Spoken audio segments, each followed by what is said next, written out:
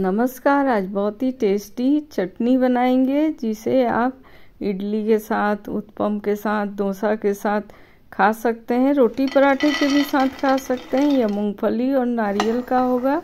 इसके लिए एक कप मूंगफली को लेकर अच्छा भून लेंगे, थोड़ा ठंडा कर लेंगे। ठंडा होने के बाद इसका छिलका निकाल देंगे।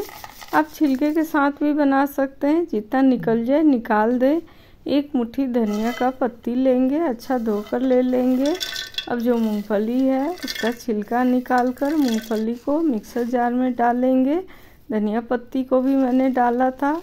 अब चार चम्मच के करीब नारियल का बुरादा डालेंगे। आप साबुत नारियल भी डाल सकते हैं, कच्चा वाला। अब अदरक का टुकड़ा एक इंच डाल देंगे, कट करके डालेंगे।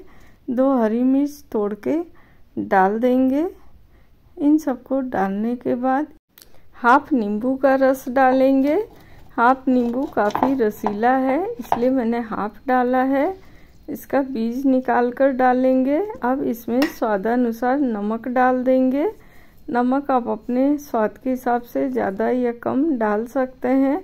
अब इसमें एक दो चम्मच के करीब पानी डालकर इसे पीस लेंगे। अच्छा दरदरा पीसेंगे, बहुत ज़्यादा महीन नहीं पीसेंगे। ये चटनी रेडी हो जाएगा।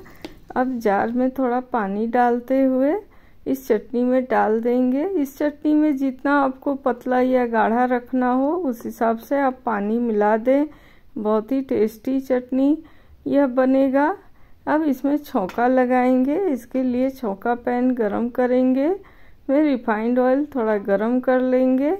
वन टीस्पून सरसों के दाने तड़का लेंगे, बहुत ही अच्छा तड़कने देंगे। जब ये तड़क जाएगा तो थोड़ा कड़ी पत्ता डाल देंगे।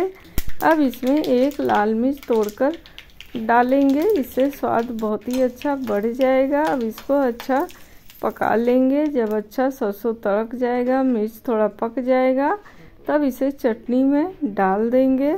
बहुत ही टेस्टी चटनी बनकर रेडी होगा। ये बहुत ही हेल्दी और टेस्टी चटनी बनेगा। इसे आप डोसा, इडली, उत्पम किसी के भी साथ खा सकते हैं, या आप रोटी पराठे के भी साथ खा सकते हैं, बहुत ही टेस्टी लगता है। राइस दाल के भी साथ खा सकते हैं। इसे मैंने उत्पम के साथ, इडली के साथ बनाया था।